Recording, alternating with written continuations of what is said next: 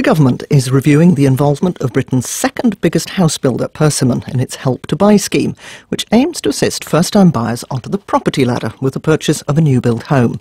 The Housing Minister, James Brokenshire, expressed his increasing concern to the house builder. Persimmon was widely criticised after its previous boss was awarded a bonus of £75 million, and there have been complaints about the quality of some of its houses, as well as its use of leasehold agreements. Sam Baker bought her Persimmon house in Dorset using Help to Buy in May last year. A lot was wrong with the house. A lot got promised to be done um, that didn't get done. A lot of things should have been done before we moved in, sort of outside, like things like the street lighting that wasn't completed.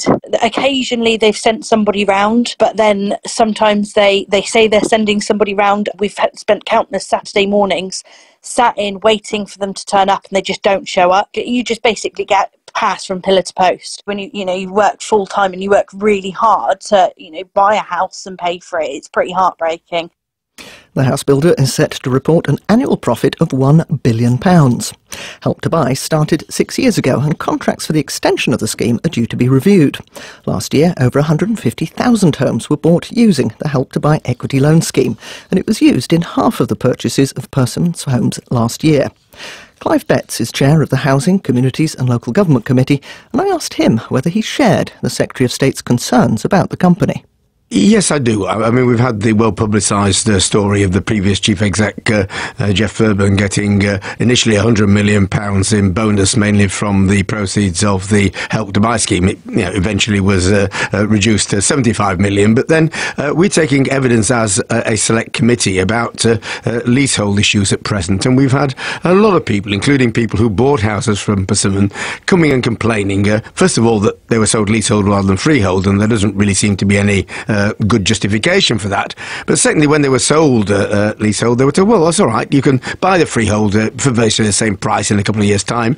Uh, when they tried to buy it, they found that Persimmon had sold the properties, uh, the, the, freeholds on to another company, and they were then asking many times the original price for the purchase of the freehold. that, that really isn't on. That, that's bad practice that we heard about let's elaborate just a little bit on what the difference mm. it makes easy if you do buy fully sold. So I mean, in particular, what were the problems with buying a property leasehold? Well, the, the problems are that you have to pay ground rent, uh, and some of the ground rents we heard about were uh, going up at a, uh, a, considerable rate in the future. Uh, that meant people were often facing bills of uh, thousands of pounds at some future date just to um, effectively uh, rent the land on which their property, which they thought they fully owned, was standing. I mean, leasehold is that you you buy buy the bricks and mortar, but the land that you're standing on is still there in the ownership of Uh, another company. Now, perhaps people should have read their contracts a bit more carefully. But we also heard uh, that Persimmon and the other companies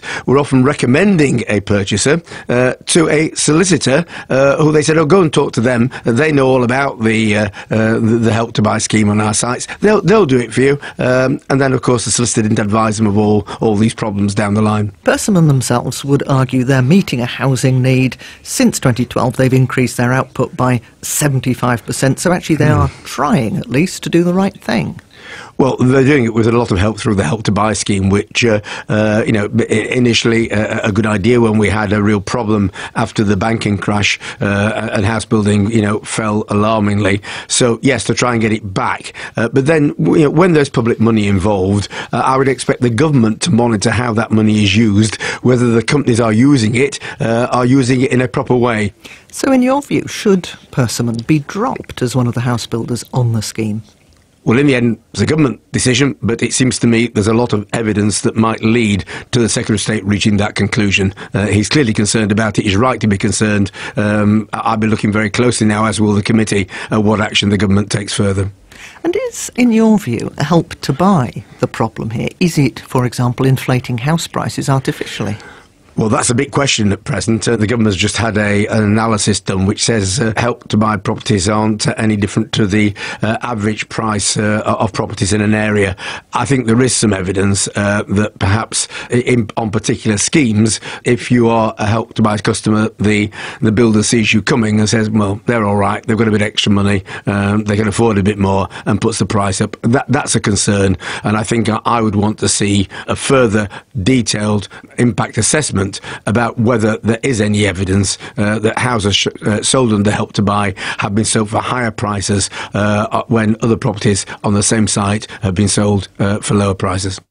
MP Clive Betts. Persimmon was unavailable for interview, but sent us this statement, and it says its performance over recent years reflects the group's success in growing its construction volumes to meet UK housing need, and that since 2012 it's increased its output by 75% and invested £3.8 billion in new land. And it adds that last year it announced a range of new customer service initiatives that it's confident will improve its, its performance once they've had time to take effect.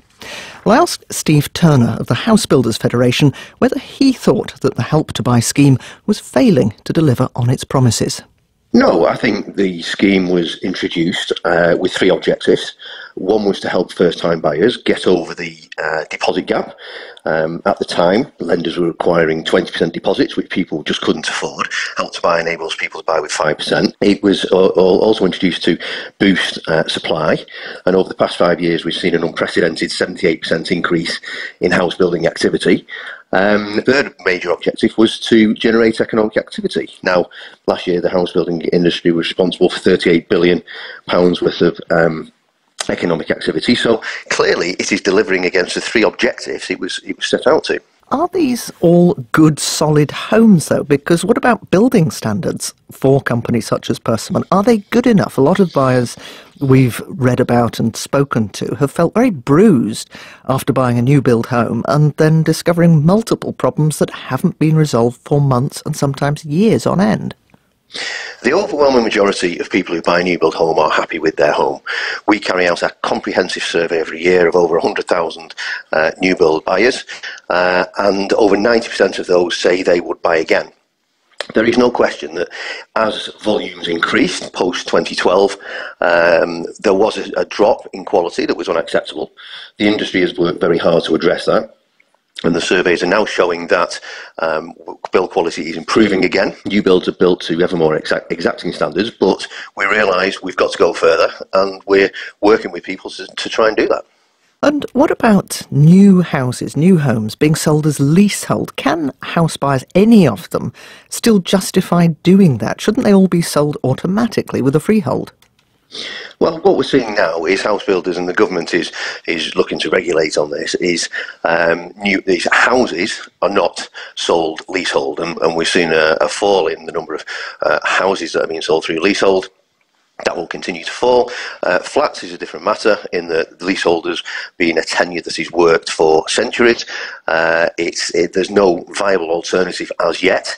But again, it's, it's an issue we are tackling uh, and it's being dealt with. Is there an issue here at all of developers trying to do too much with that pressure on to build a lot of homes as fast as possible?